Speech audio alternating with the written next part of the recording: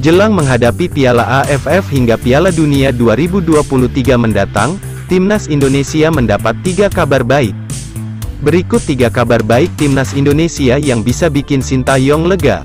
1. Saat ini tim transformasi sepak bola Indonesia sudah mulai bekerja.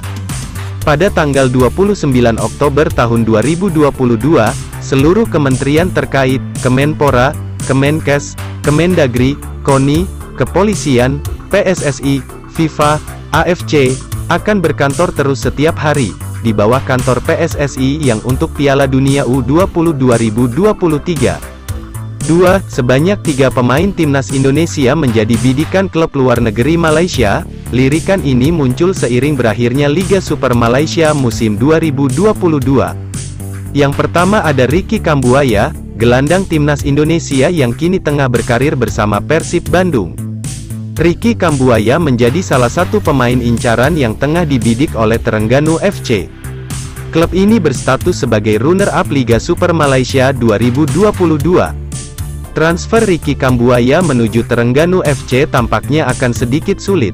Sebab, pemain asal Papua ini masih terikat kontrak dengan Persib Bandung hingga akhir musim 2023 per 2024. Dengan kata lain, Terengganu FC harus menebus biaya transfer Ricky Kambuaya dari Persib Bandung. Selain Ricky Kambuaya, Klub MSL lainnya juga tertarik dengan penggawa timnas Indonesia lainnya mereka adalah Dimas Derajat dan Yakob Sayuri.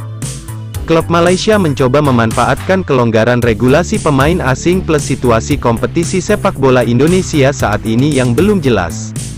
Yakob Sayuri dirumorkan menuju Kuala Lumpur City FC, sedangkan Dimas Derajat diminati Selangor FC.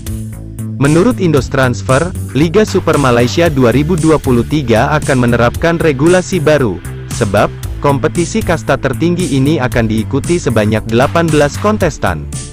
Terdapat perubahan regulasi pemain asing, setiap klub diizinkan untuk mendaftarkan 9 pemain asing di Liga Super Malaysia 2023.